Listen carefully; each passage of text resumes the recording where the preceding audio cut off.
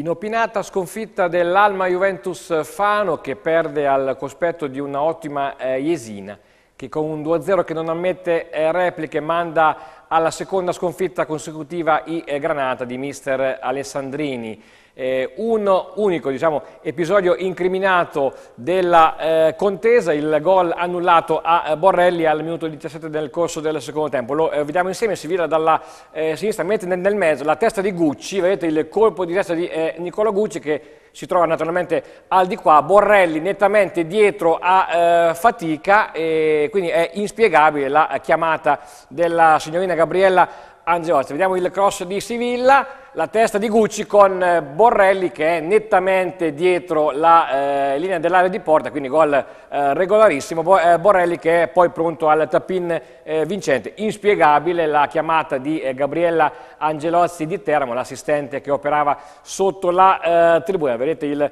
colpo di, di, testa di Gucci, non c'è fallo, tra l'altro nemmeno di Nicola Gucci e il tocco di Borrelli. Chiaro il gol eh, buono, l'Alma poteva eh, riaprire, l'Alma non ha giocato sicuramente un'ottima prestazione, tutt'altro, ma eh, questo episodio poteva comunque eh, riaprire la eh, contesa perché si era al minuto 17 eh, nel corso del secondo tempo e un 2-1 avrebbe cambiato la partita. Ora diamo un'occhiata alle pagelle che ai noi non sono sicuramente molto molto belle in quanto l'Alma, come detto anche, eh, lo eh, vedete anche questa sera nella eh, telecronaca, non ha disputato una ottima eh, gara, il 2-0 non ammette diciamo, eh, discussioni in favore della Jesina. Delusione soprattutto per i difensori.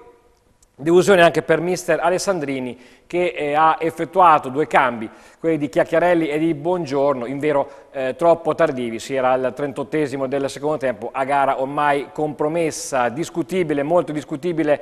il, la eh, messa in campo dal primo minuto di eh, Gregorini, che ha tutto un altro passo rispetto a, eh, Trudeau il franco caraibico lo ha letteralmente surclassato, inspiegabile anche l'ingresso in campo di eh, Verruschi a eh, scapito di eh, May che nelle ultime gare aveva giocato sicuramente meglio di tanti altri.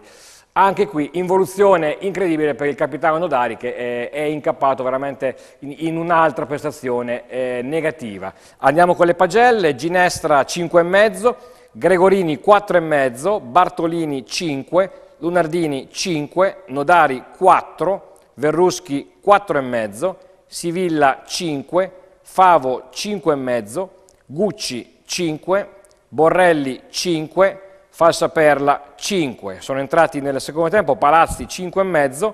Chiacchiarelli e Buongiorno ingiudicabili, quindi senza votazione eh, perché entrati in campo a pochi minuti dalla fine. Alessandrini 4 un eh, voto per il direttore di gara che comunque va a eh, sommare anche quello dell'assistente dell Gabriella Angelozzi e dell'assistente 2 Antonio Alessi, nel complesso eh, sufficiente, quindi 6 per Davide Meocci di eh, Siena.